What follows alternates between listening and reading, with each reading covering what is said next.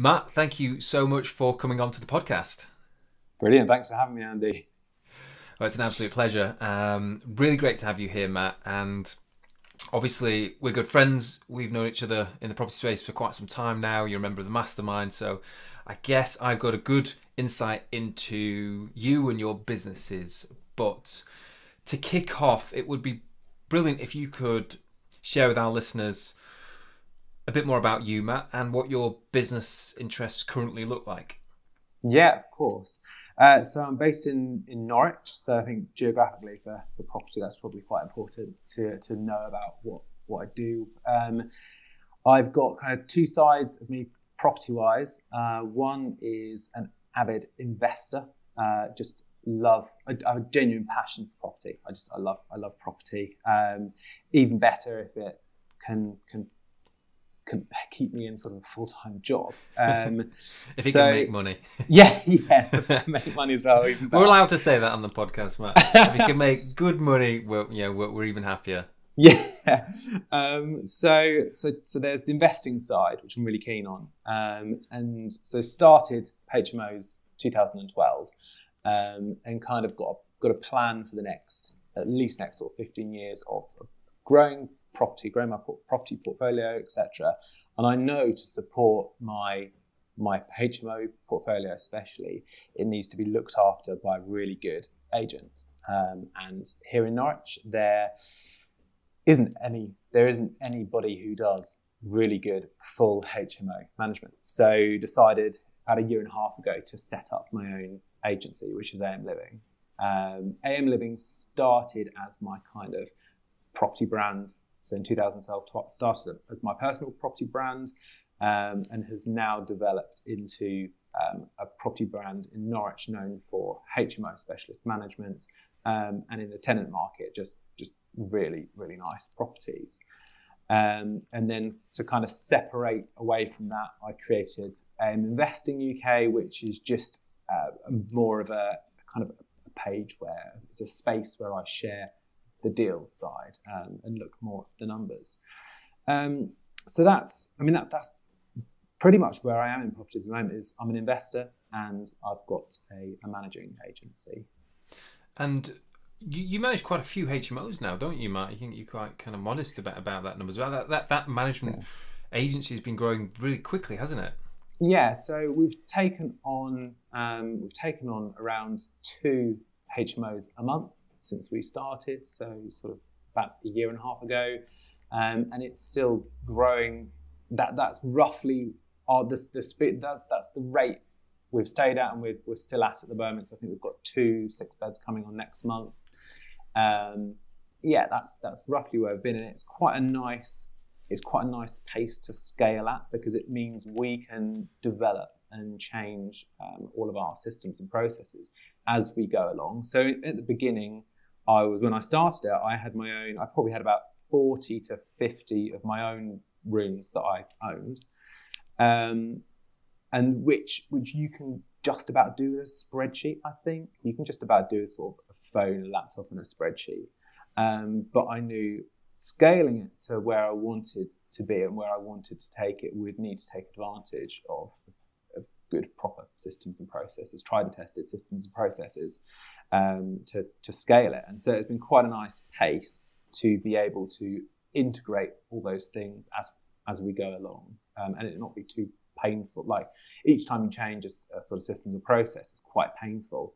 I think, or can be, especially if you're a big company. But because we've been doing it organically, it's it's been fairly easy, I think. I, I say that, though not necessarily the one that's got to do it. Well, well I completely agree. And, and, and having grown an agency myself, uh, you know, uh, ha- have been through, uh, you know, all those ups and downs of, of, of, of, taking on properties and working with landlords and, and everything else that's involved. And I'm sure, and in fact, I'd like to come on to some of that in the in the podcast today. And I know you'll be honest about uh, that experience for you.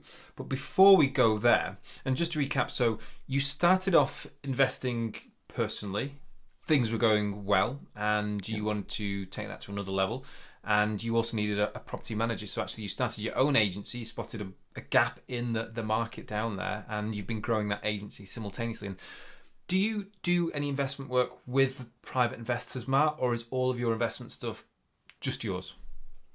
Uh, it's mainly just mine, um, but I've got. I'm now in a position where I sort of made a, a point of wanting to use external investment from sort of mid-year last year, um, and we're now at the moment at a point where I've got three or four people that have said what they want to invest, how much they've got, what they'd be interested in doing, um, and I've got a, over the last month or two proposals going out for properties that we've found that would be of interest to other people. Um, so I'm at the point where I'm just starting to work with with what I'd call like true joint venture partners. Um, prior to this, I've had a couple of joint venture partners where we've put money in 50-50.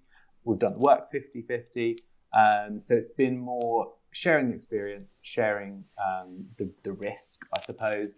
Um, but going forward, I, I, want to do it in more of a true sense um, of joint venture. And then prior to that, I've done.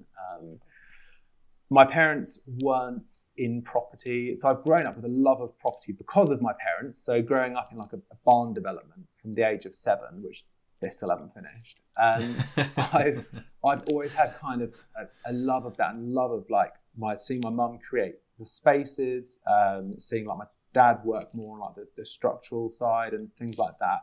I really enjoyed it. So after they saw me having success with it in uh, sort of 2012 onwards, I'm convinced them to do um, four large HMOs now, which provides them a great source of income.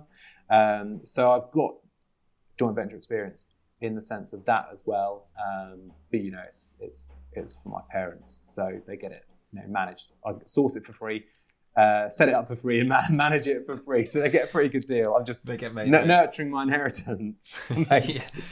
Keep that nest egg very very warm. Well, it, it sounds like a you know a really natural progression for for for you, this Matt, and one of my favorite things about you is how humble you are about some of the stuff that you've done and what you've created and what you're doing. I remember when we were booking the podcast, you said, "Andy, I don't know if there's really much I can I can come on and and and." An, an offer. I've got nothing to sell, and I said, Matt, that is exactly why I want you on the podcast because you're very honest about everything you do.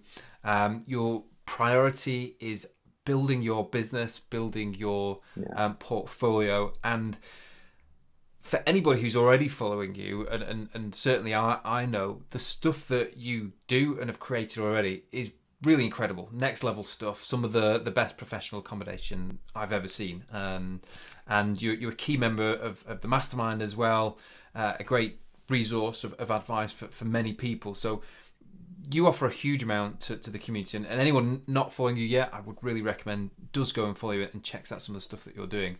But the big question, the, the really big question that I want to ask you right now is why HMOs? Because that doesn't seem as obvious to me. Most people, when we talk about the, the background you know, and why they got started in, in, in HMOs, maybe they came from university or realized what their landlord was doing and thought there's a lot of money to be made. My landlord's kind of creaming it here. I want to do a bit of what he's doing, or some other transactions. But you know, what was the attraction for you with HMOs?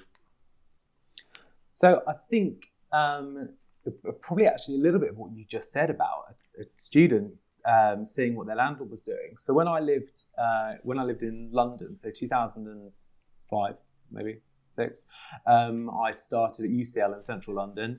Um, Were they hazy my, days, Matt? Yeah, just a bit. yeah. Um, and I was I mean, my first year, you're put into halls, um, and I think I was paying. Bear in mind, this is like 15 years ago. I was paying a good eight, nine hundred pounds a month for an ensuite room in Zone One. Um, and at the time, there were I always looked at property. always looked on Rightmove or whatever it was. Was even Rightmove back then? I think it was. Um, and I always looked at properties, and there were plenty of large one-bedroom flats going for under two hundred thousand pounds. Um, and I like did the figures, and I just thought thought to myself, look, if I find a a one bed flat with a private living room, private bedroom, private kitchen, I'll rent out the bedroom for eight hundred quid a month. I'll live in the living room, and you know, the mortgage, and that's exactly what I did. The mortgage was um, like know, two hundred pounds. I've got my bills on top of that. I was a student, so no council tax, um, and I was I managed to live in zone one, like Kings Central Kings Cross, um, in a place that I'd kind of got my parents to purchase. Um, I was living there rent free, bills free, getting pocket money each month. Um, on my parents don't have like masses of money, but they would have had to have supported me through years two, three, and four at university. So it kind of, and then at the end of the five years when we sold the flat, it made my parents a huge amount of money. Um, so I kind of thought, I want to do this room renting thing on a larger scale. So I saw it in London back in 2005 onwards. Um, and I just thought, I'm going to do this in Norwich. So I moved back to Norwich um, and decided, like, I had a full time job, had a good engineering job. Um, but I decided I wanted to get into property at some point. So I was always on the lookout for properties. Um, and the first thing I came across was a derelict 240 square meter property um, and bought it. So that was my first. My first experience was I turned it into an eight bed HMO. Um, in terms of why, I suppose I knew it would cash flow really well. Um, so, so, I knew it was going to be of financial significance to have it. Um, I also I've got such a passion for old properties, Victorian properties especially, um, and this was a Victor- beautiful Victorian property, sort of three and a half, four meter ceilings, loads of like meter and a half roses. I was just like, I want, you know, I want to be up on the ceiling, take the scraping hundred years of paint, paint off these things and stuff like that. So I just wanted to get into property, and it wasn't. It's at that time. It certainly wasn't from a spreadsheet. It certainly wasn't. I didn't do the numbers on it. I just knew it would. I knew it would be a winner. Um, I knew I couldn't lose on it financially, um, and I think that one I purchased 2012 purchased for two three five, and the last valuation was six two five. Wow! Um, so nine years later, um, but I probably spent less than hundred grand on it because I did. I was in there for 12 months doing the work myself. And um, with that property, Matt, were you thinking about capital appreciation as well as the rental yield, or was it just you know the icing on the cake when the value started to go up and then you were able to start crystallizing some of it? At the time, I wasn't at all. I wasn't thinking about that at all. Um, I think I was probably thinking, I was probably just trying to get by originally. Um, trying to, I probably ran it for I don't know, a year or two without knowing about all the HMO rules and regulations. Um, so, but then it was 2016. I thought I need it's a massive building. I need to release some capital from this building, um, and looked at various things. So I looked at next the two identical houses either side are split into four two-bedroom flats. So I seriously looked at changing it into into these four flats, but the I was looking at probably 150, 200 grand cost to do the works. Um, and I just thought, look, if I make this into an absolutely stunning eight bedroom home with a stunning kitchen and living space, just on kind of square meterage comparables in the area, it was going to get valued at 550 um, back in 2016. So, and that was without spending an extra penny on it. So, in 2000, end of 2016, I managed to get valued at 550 um, and pulled as much money out then as I would have done if I'd have spent 200 and got it valued at four flats. Um, yeah, so that's it was essentially was the icing on, on the cake. It wasn't planned from the beginning. And this, you know, that project was the foundation for for your case study, was it? That the case study that we're going to talk about today was that project and the way that that went and the equity that you were able to release was that the foundation for the project in today's case study that we're going to discuss? Yeah, definitely. So, in the between 2013 when that house was finished and 2016, I worked for some London investors, um, and they purchased in Norwich, and they um, they very sort of uh, quite strict criteria for their for their properties. It was they were all very similar. Um, but I looked after properties. I learned a lot during that time about tenant management. But I also learned a lot about investing during that time. So I learned a huge amount from them. Um, was that a role you decided to take actively because you already knew you wanted to do your own stuff, Matt, or was that just part of the natural progression towards doing your own stuff? Was that where you developed some of the love for it? Um, it was. It was. I done. I spent the year doing the property 2012 2013. I'd let all the rooms out, and I was like, I want to stay in property full time. I don't want to go back to uh, the engineering side. Um, so I just contacted people through Spare Room, and it was literally the first person I contacted, and I said, guys, your house is your, your properties are really nice. I can see all your properties. Um, I'm based I'm based in Norwich. I'd love to learn more about property. If you've got any experience, would would love to come come and meet you guys, etc. And they called me straight away and said, look, we live in London. Um, we have got a manager. We have got like our kind of I think it's the person that did their bookkeeping at the time was based in Norwich, and they did the viewings and things like that. And it wasn't um, the, the lady doing the bookkeeping wasn't enjoying the tenant management side, so they straight away passed the tenant management to me. So um, as soon as I finished that first project, I had experience of sort of 50 tenants, which was so I wanted the experience.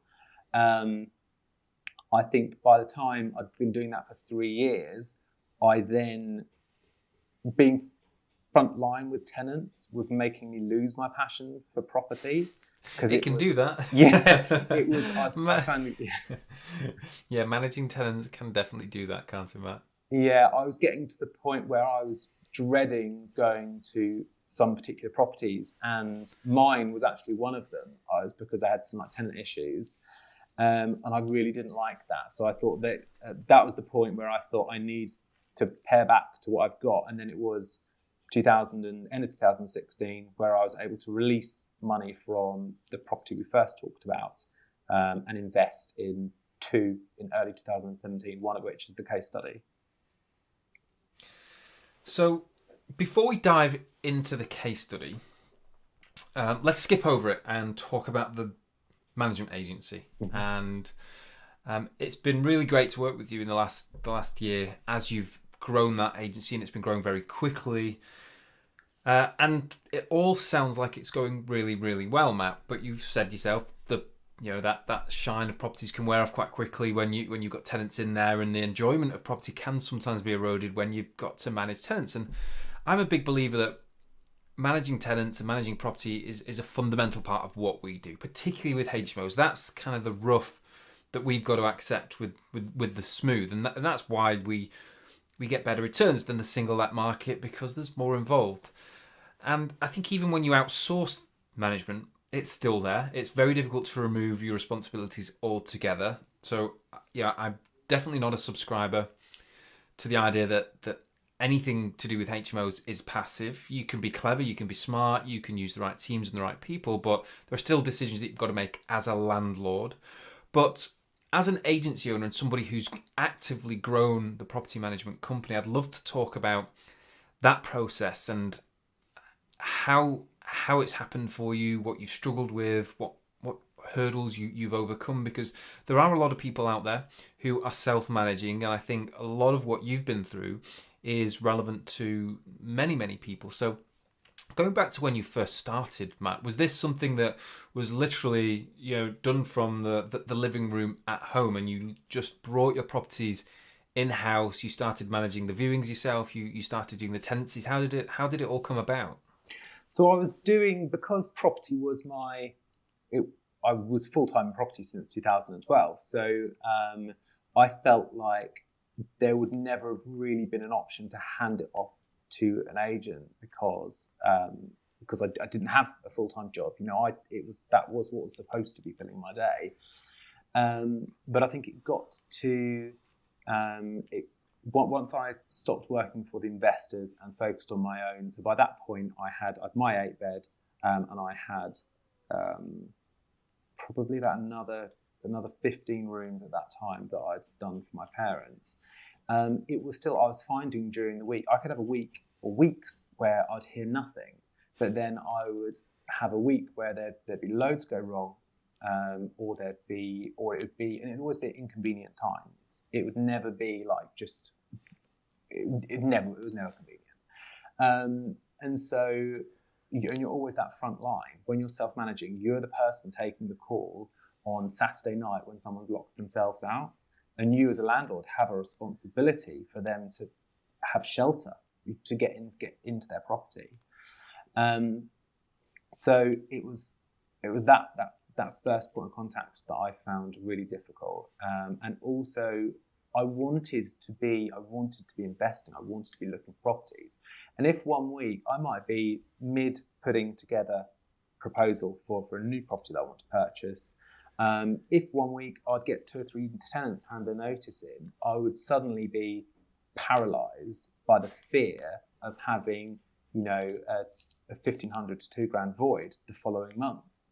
Um, so I just knew I needed, I, I knew I needed a break between myself and the tenants. Um, and I knew I wasn't going to get that from a high street agent. Um, so I, I knew I needed to create a position where I would have somebody else come in to be that front line and I would support I would support that person, and that person would support the tenants. Um, yeah. And is that where you're at now, then, Matt? So you you've got some staff members that take care of the portfolio, almost front of house, boots yeah. on the ground, and you're overseeing the operations. Is that how things are working now? Yeah, definitely. So I'm very much involved in the management company at the moment, um, which I'm happy to do at the moment, and I'm quite enjoying it because I feel like I'm actually working on a business. Whereas mm-hmm. I think when you're in just in property, it doesn't nec- doesn't feel quite so. It's not like it's not a business like thing because you're not you're. Um, I think once it's set up, it's business because you've got rent coming in, bills going out. But during the build process, it's all your figures are up and down constantly. Uh, whereas with the management company, it's you know I can, I know what fees are coming in at the moment. I know what costs are coming in at the moment. I can do a projection for the next 12 months. Um, I can, you, there's predictability in it. Uh, I mean, all our landlords could leave, I think they could give a two or three month notice period, but that's very unlikely. Um, and so I can, we can see into the future. So it's quite nice working on the business that way. Um, I'd love to get to a position where we can grow a little bit more and I can promote people within to take more of a management position, um, more of a, um, a strategic position where they can have their own, they can set themselves targets for, for growing the business for that year. Um, simply so I can focus more on the actual property acquisition side um, because that's that's what I really enjoy. I mean, I'm all, I'm always going to be around both businesses, but it's the it's the going around properties, the sourcing, the you know packaging, the putting them together. I mean, packaging for them for myself, as in working out what I'm going to do with the property, what its potential is, um, whether anything creative can be done, floor plans, interior design, all that sort of. That's the bit I really enjoy. Um, but in terms in terms of the management business, I am still really enjoying just that growing something, growing something that I feel is really special as well, and I'm growing something that um, I feel really proud of. Like I just, if anybody came to me and asked about HMO management in Norwich or any management for that sake, that um, thing, because I mean, single management is really easy. Um, I would, I fully, comp- fully confident to say we hands down provide the best service in the area. There's nobody that's going to beat us on service, and I can say that with like, and that's not being dead-headed. I just know, I know what we do. I know what we do for our tenants. I know what we do for our landlords. So, and that's that's really nice to be able to to feel and say. You sound really passionate, Matt, about your agency, and and I think you make some really good points about differentiating between having a portfolio and also building a business. And, and I agree, and I, and I think there are differences. Yes, I think you've got to run a portfolio ultimately like a business, but it behaves very differently to a traditional business mm. where you've got an income stream, you've got expenditure, you can plan, you can project, you've got customers to deal with. And it isn't as capital intensive as buying. Obviously, buying a property, you need however many tens of or hundreds of thousands to buy an asset every every single time, and naturally, for most of us, that's quite a slow process to building that. We've got to regenerate capital, recycle it. Whereas with something like a management agency, once you've invested those initial costs, you've laid that seed capital down. It's all about getting customers through the door, isn't it? And every single customer adds some money to the bottom line. That revenue continues to be generated. You can grow, you can reinvest in the company. And it sounds like you're really enjoying the process of actually building a business as yeah. much as anything else right now, which is, yeah. and, and, and being so passionate about it, I think is so important. And I think, particularly in our industry where it is hard work to manage tenants particularly the tenant demographic that we manage, who often have really high expectations, uh, and and, landlord, and landlords as well.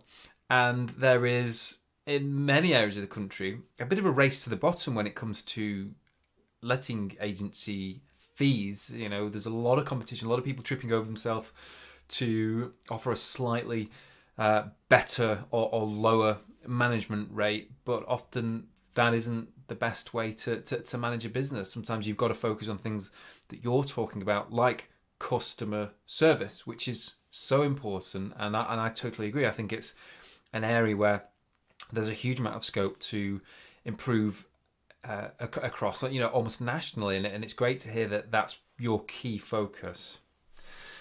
What have been the most challenging bits about this, though, Matt? You, you've made it all sound very calm and relaxing and you've kind of taken it all in your stride but i'm sure there must have been times when you've kind of had your head in your hands and questioning whether this was doable whether in fact you wanted to do it. Have there been times like that for you?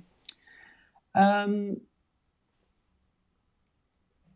I, th- I think going back to the fact I said it sort of grew so slowly um, or so steadily, um, it's not it's not felt too, too dramatic at any point. Um, I think there was certainly realizations around a year ago that there um, there's quite a lot of legislation, there's quite a lot of additional bodies and things that you need to belong to, um, and, and, processes that you need to have within your business that I uh, I didn't have, and I didn't realize I needed to have them. So I think, and, and there's a massive cost. There's a there's a, there's a a monetary cost, and there's also um, like an admin time cost as well in all of these things.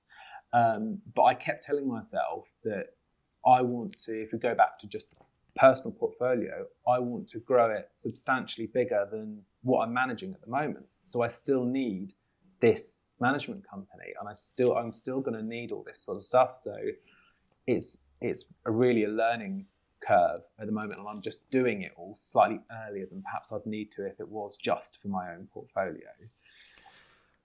I think when it comes to building an agency and managing property and building property businesses, having that foresight to do things before you know that you're really going to need it and rely on it is is so so important. And I think it's an area that a lot of people struggle with. It's really difficult to make those sorts of decisions, to invest for the future, to make gambles on things that might or might not happen. And sometimes you've got to have faith, suck it up, put in the hard work, and and you know hope that it, it all does does pay off ultimately. But it, it, does sound like things are going really well for you, and and the trajectory, certainly when we've talked about it off air as well, sounds really exciting and um, the projects that you, have been doing as well simultaneously are fantastic. So it, sounds like the future is very bright and i'm sure that the norwich market uh, you know are, are, going to become more and more aware of your service by the sounds of things and and, and hopefully that that business just continues to grow. What what's your long-term plan with it matt? Have you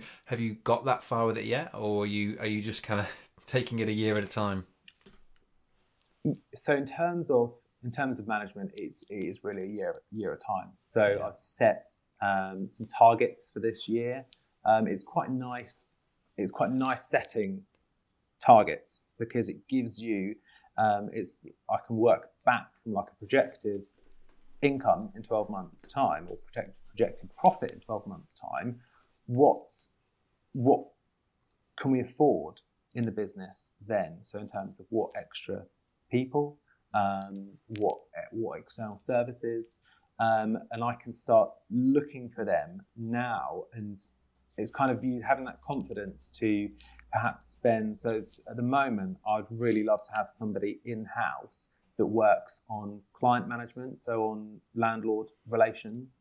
Um, so it would be their sole job to work on on our, our if they'd be our brand ambassador, and they would be the, the first kind of point of contact for any landlords. Um, which at the size we are at the moment seems ridiculous to have somebody in that full time position. But if they were able to drive the business to where I wanted to be in 12 months' time, then it would it makes total sense. Um, so it's, it's quite nice planning a year in advance. In terms of bigger than that, I mean, I think in my mind, 2,000 units, so 2,000 rooms is probably what I have in my mind as a as, as a as a good monthly turnover operation. I'd be really really happy to get to that point. Um, I mean, in Norwich, there's something like 3,000 H, like registered HMOs. So each of those has got five plus people in. So there are the there are the rooms here to be managed. Um, there's you know there's there's huge there's huge student population in Norwich, um, huge local population anyway. So um, that's what I that's what I've got in mind. Um, and like there's some sort of figures behind that as well. So it's not not just completely random. Um, but at the same time, I'm really content with where we are now as well. So just trying to trying to enjoy the process, I think more than anything. I think that that is more important than anything as yeah. well, Matt. I think if you don't enjoy building a business, it can be really, really hard work, and those difficult days are just that much more difficult. So it's great to hear you say that as well. Let's uh, have a look at this case study then. So this is a superb case study. I'm really excited to talk to you about that. And for everybody listening today, Matt's case studies, of course, in the roadmap. So you'll be able to find out a lot more about the context, the background, how Matt found the deal, and exactly why he did what he did. But we're going to talk about some of the best bits in today's episode. So the property um, that we're talking about today, Matt, was one that stood out for me, um, for you already, because of something that you, you put on, on the front of it, um, which I'm sure you'll tell us a little bit about. You just made it look beautiful at the front. Uh, and it's quite unique to see something like that in the HMO space. We often don't see photos from the curbside that make you go, wow, but actually, yours is quite a rare example. Uh, but this was a property that you purchased for £280,000. And you got this revalued after the work, which I'll let you talk about, for half a million. So, you know, a huge uplift in value. And at the back end, it net cash flows after all your costs £1,600 a month. That sound about right, Matt? Yeah. Yeah. It's, it's quite heavily mortgaged. So, yeah. but you know, sixteen hundred pound is is is a, is a fantastic um, you know net cash flow. It's it's half of the average salary, poss- poss- possibly more. Um, but what's really staggering about this, Matt, is well, the you got all of your capital out and a lot, lot more. So the really the numbers are off the chart on this. Um, first thing I want to ask you before we go into detail is whether or not this is a typical case study for you. Is this stuff easy to find, or do you think that this was good timing? You were right place, right time, ready to pounce. Um, and actually, these, these are fairly rare examples. And, and I'm always cautious because we get some phenomenal case studies on the podcast, but equally, it can set unmanageable expectations. So I think it's always important to give a bit of context about whether or not this represents a uh, a deal that's consistently available on the market, or whether actually maybe this is one that you really were quite fortunate to find. So, how did you find it, Matt? And and and and, and is this stuff typically available in, in your market? Yeah, I mean, first of all, it's it's it's a unicorn. It's you know, it's, it's a it is a it's it a, a unicorn. Yes.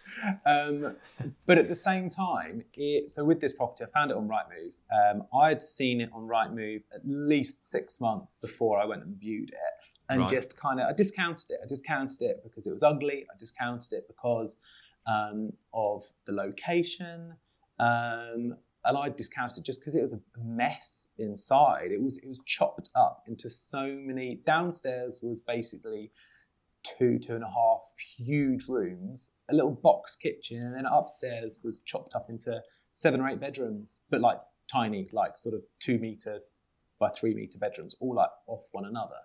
And it's a detached property, isn't it? Yeah, completely Yeah. detached. Um, so, so, so that's why I I kind of discounted it, and then it, it kept popping up. And when I actually had some some cash in early 2017, um, I was like, I need to go and have a look at this. And then I went there, and I just thought, for the money, so I, for the same price, so for 280 on the other side of the city, near the hospital and university, I bought pretty much a ready to go six bed HMO and let it out straight away within sort of a month or so of having it, um, with but no value added whatsoever. I mean, it's still So just to kind of a very vanilla HMO off the shelf, Yeah. ready to go. it's still probably worth the same now. It's it's literally that is it. With this, I just thought when I saw this one, I thought, look, it's got potential for my six ensuite, at least well, uh, mainly ensuite rooms. Um, it's so it's, it was in such a unique, so it was in a, a, a roughish area, um, but it was in such a unique location. You can mentally detach from its physical location. Um, and I just thought, if this was, if I get my six HMO bedrooms out of it, it's walking. So it's an NR, so a city centre postcode, walking distance to the city. Um, I thought if I can get six lush rooms out of this, they will let really well. And on the other side, if just because of its setting, I can get it revalued as a really pretty family home. Um, so that's that's that's what made me choose it. Really, I just could see scope to really increase increase the value of the property. So actually, this this doesn't sound like it was uh, uh, uh, obvious to anybody really, Matt, other than other than you. Once you'd, and it doesn't sound like it was immediately obvious either. You obviously had the skills and the knowledge to know what to do with it and could see the potential. And I guess to do that, you've got to know exactly what makes a good HMO work, but also you've got to really thoroughly. I mean, if you can pick a house knowing that it's not in the best area, but recognize potential to make it work on a rental uh, front as well as make it work at the back end with the value, that's quite exceptional. And actually, I think that that is, and when I talk to investors all over the country, it is really the combination of those two skills that, that I think determines how successful most people are. Just it sounds like you thoroughly understood what the opportunity on the table was and how to make it work. And of course, that must have come from your years of spending time immersed in the market locally. Yeah, I mean, it certainly for an investor, it would not jump off the shelf at all because you just wouldn't be, you wouldn't be looking in that location. Um, whereas I knew that, so although investor-wise you wouldn't be looking at that property, I knew that it did actually tick the box for what an investor would want. So the location is strange, but it's a city centre postcode. It's literally what, if you wanted to come to Norwich, you'd consider many postcodes, but top of the list would be NR1, and it's an NR1 postcode. So for, for um, HMO tenants coming from outside of Norwich, which a lot of ours are, they will be looking for that postcode. So demand wise, I knew it would be there. Also, I knew photographically and internally it had so much potential.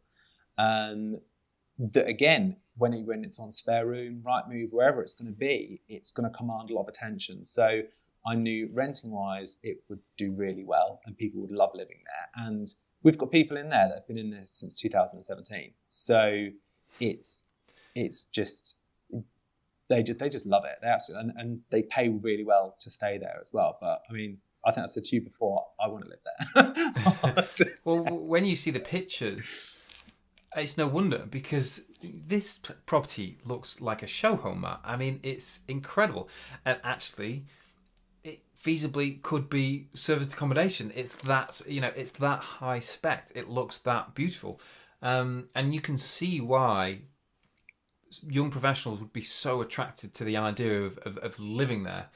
Um, so tell us about the refurb then, Matt. So you you went from a value. Okay, you purchased it for two eighty. You had your, your buying costs and things like that, and you got this revalued at five hundred thousand. So what happened in the middle? Right. So it was about a six month uh, sort of renovation. Um, we reconfigured the whole property internally. Um, it was it was mainly stud work anyway, so there wasn't there wasn't huge there weren't any huge issues there. Um, so upstairs we took it back from seven bedrooms to just four bedrooms along the top floor. So um, three true ensuite rooms um, and one ensuite, but it's Jack and Jill between the bedroom and the hallway, just because we were thinking either if we sell it on as a family, it needs a family bathroom, family home.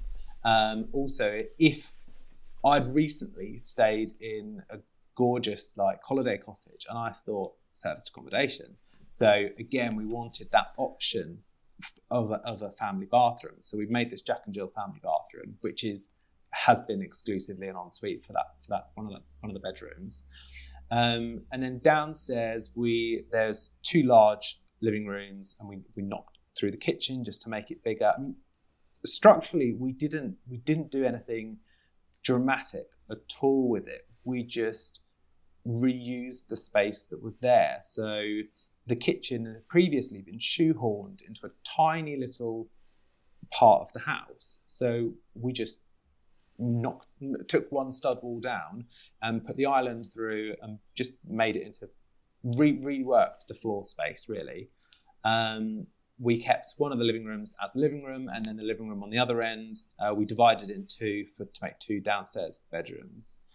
Um, in terms of in terms of layout, it was because it was so odd before. The layout was really important to me. So getting a simple hallway upstairs with plenty of light, um, and then downstairs, my, my vision for downstairs was to have really good lines of sight. So when you walked through the front door, so it's got double doors, just to give it that a kind of a, just a bit of an impressive feel as you walk into the property. Um, it's got a proper like entrance foyer, and from there, the lines of sight are really good. You can see when the doors are open to the lounge, you can see end to end of the property, which makes it. It's all double width. It just makes it feel it makes it feel huge. It makes it feel a lot bigger than what it is. Um, and then when you come into the hallway before the kitchen, again, the lines of sight go straight outside. Um, so wherever you are, it just the layout feels feels really nice. It feels really it feels really good in there. And I think for me that was it's important for tenants. It's important for tenant well-being, and it's important for tenant longevity for them to stay there. Um, but also, for me, there's a big focus on that revaluation.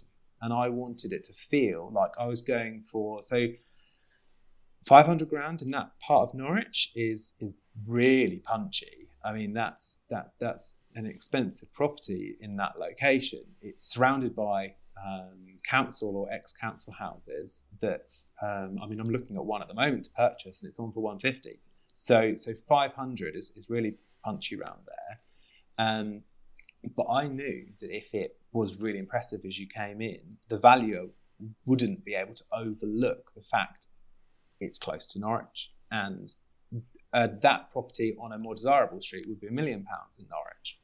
Um, and so it was just trying to get it to tick as many boxes for them as possible. So, really special kitchen, really special living space. Um, and oh, by the way, it lets out for three and a half grand a month and it's fully let. Um, it's, it's, I mean, it's all of our. It's the, hard to deny.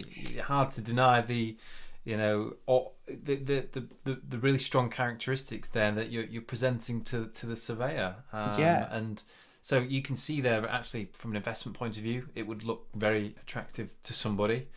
Uh, and and with what you've done and the, the living accommodation that you provided from a bricks and mortar point of view, okay, might not be in the best part of the city, but it sounds like you knew what good value for money represented, and actually, it sounds like the surveyor agreed with you and said, "Yeah, you know, people would pay." Um, for this property here, they would compromise perhaps on location because the living accommodation and everything else that's provided is is as good as it is, and, and it really is amazing. And let's talk about this bit outside that you did as as well, Matt, because I think that's so clever. Um, you put this beautiful porch on the front, didn't you? Which yeah. has actually transformed the way that it that it looks. And you say that actually it's not a particularly attractive property, but when I've looked at it and when I look at the photos of this, I it really stands out to me. It's one of those that you know. In fact, until you did the case study for us, I'd seen pictures of this, but I didn't realize it was a HMO, and because it's so atypical. So, was that again a very conscious decision? Do you knew? Did you know that changing the frontage, you know, would really help have an impact on on that end valuation? Yeah, definitely. It was it was really about trying to sell the dream of it being a lovely family home. Um, and so, so when I purchased it, it had I think it was built sort of 60s, 70s, and it had this disgusting sort of 70s lean-to porch thing. Um, and so, I, I just I went through so many different iterations of what to do with it. I wanted to clad it the whole building in in wood and make it look like a barn. Uh, I wanted to do like render and glass and make it a brand new like sort of Grand Design style house just just through changing the external kind of features. Um, but they're all looking quite expensive to do. Um, and i just thought kind of looking if you look at the setting it's it's set in the woods. It's set between the the, the church and the vicarage. Um, it's a really really green location and I, I just, think we should again remind people that this is a unicorn project. I mean, it, it sounds like something out of a dream. to be honest. well, I don't know. Most people don't want to be next to a graveyard. um, and you you spent well, I say you only it's still a large amount of money, but you only spent eighty five thousand to do this, Matt, which I think is phenomenal. Phenomenal. Uh, so we, so like I said, there was very little structural work.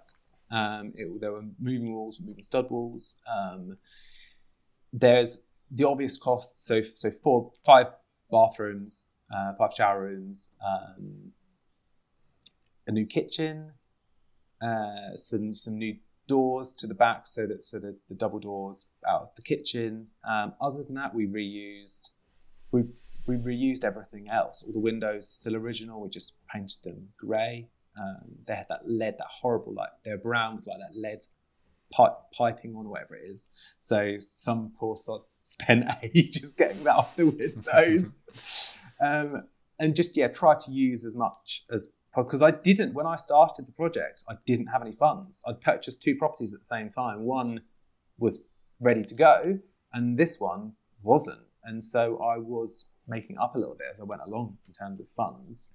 Um, I think the, the the main building contractor underpriced, and they had some issues with, with their team and things like that. So had I, I mean, I know some really good building contractors now. If I got any of those in, that would be 160, not 80, 85. So Okay. if, yeah, if they came on site and if they looked after it end to end, but I was there. I was there every day. I was when the um, their project manager wasn't there. I was there saying, "Guys, aren't doing anything.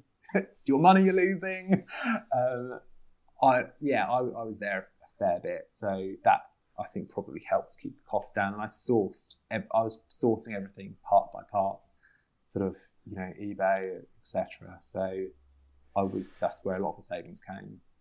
I think sometimes that's the way that you've got to do it. Certainly, um, maybe less now, but certainly um, when I was investing um, several years ago, I would spend a lot of time on site managing, um, possibly micromanaging to my own admission. Um, but it's really important, and particularly when you know you've got a team that maybe aren't fulfilling the objective, and you can see that those difficult conversations about underpricing are coming because that is a really difficult position for everybody to be in. You've made decisions based on that price. They're potentially finding themselves in a you know um, an unviable position, which as investors we don't want to happen as well. So managing that that balance and doing that dance, and I've been there a number of times is is tricky, um, but you've got to find effective solutions. And sometimes that that solution is you just got to get your sleeves rolled up, get on site, haven't you, Matt? Yeah, Yeah. So, I mean, it's, a, it's an amazing deal. And actually, you pulled everything out and an extra 30 odd thousand. So, really, th- this is a phenomenal deal. Um, and thank you so much for sharing that with us, Matt. So, again, for everyone listening, it is in the in the roadmap. You can go and see a lot more information about this case study as well as all of the numbers and exactly how Matt did it. Um, Matt, you've got a lot of experience behind you now in this game. You're, you know, you're you're you're well versed in the, the, the pros and cons of, of, of, HMOs, students and professionals. I, I know that you've got experience with both.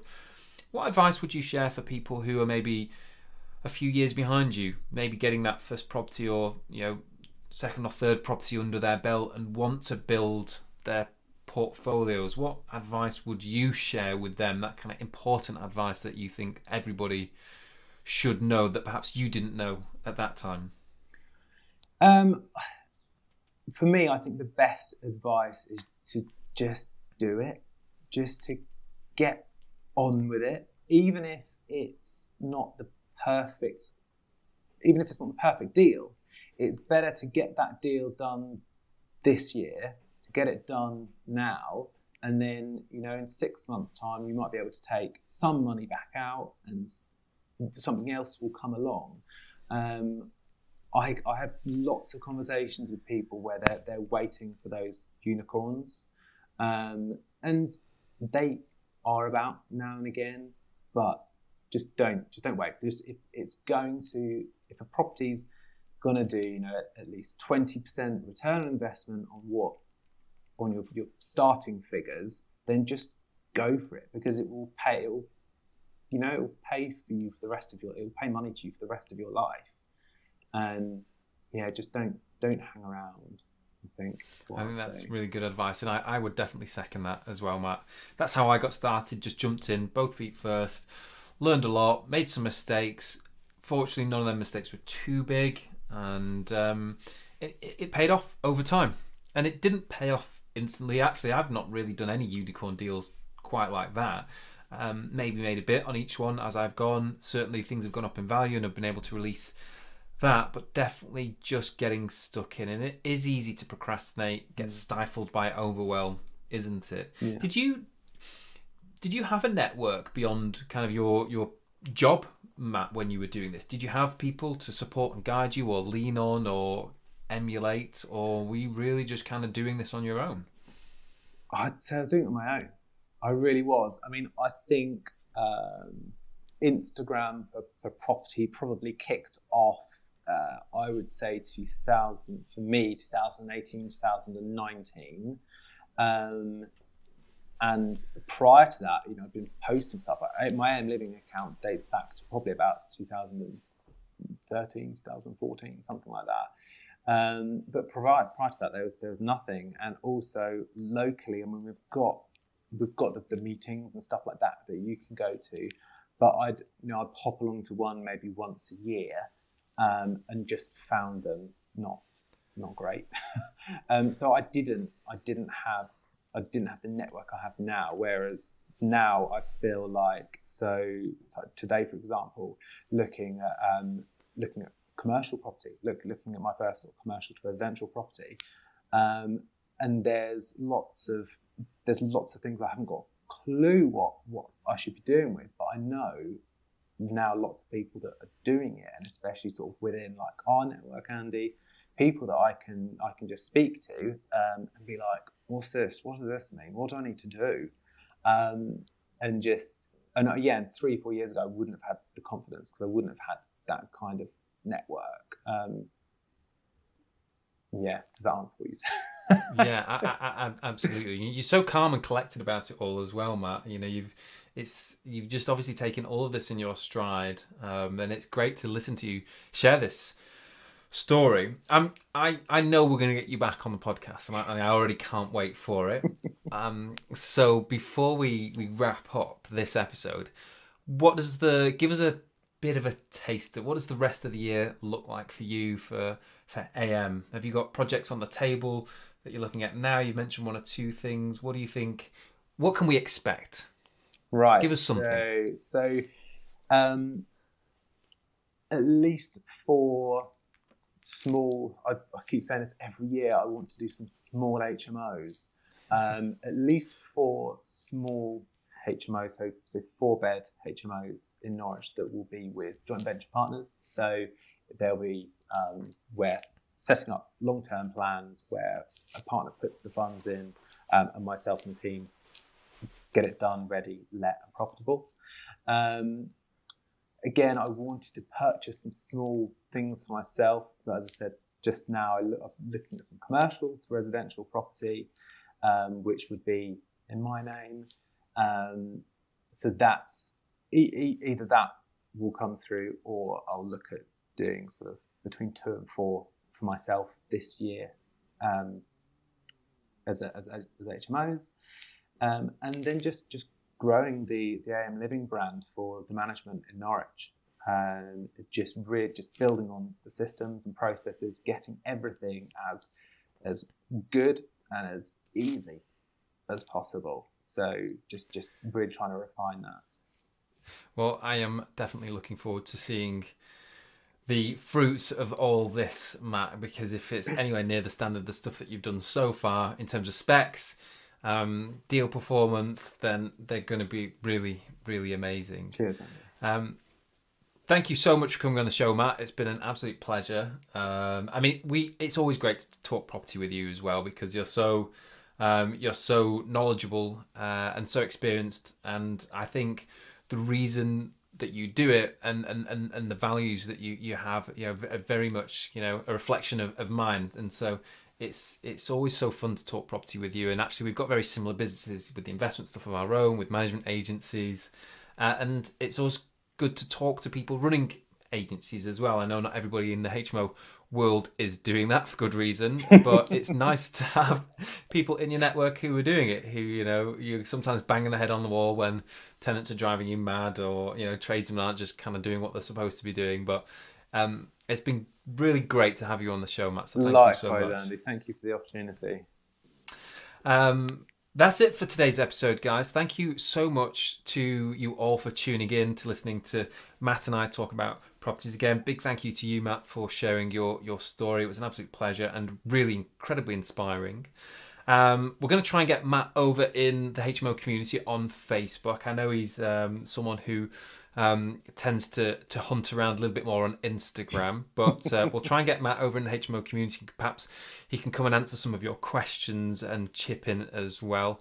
And of course, don't forget that the HMO roadmap is live. It's there. Matt's case study will be there, as well as the recording of our video today, so you can see Matt in person. And um, of course, lots more really useful and very valuable content that will help you start, scale, and systemize your HMO portfolio. That's it for today's episode. Thank you so much, and I'll see you next week. Cheers, Andy.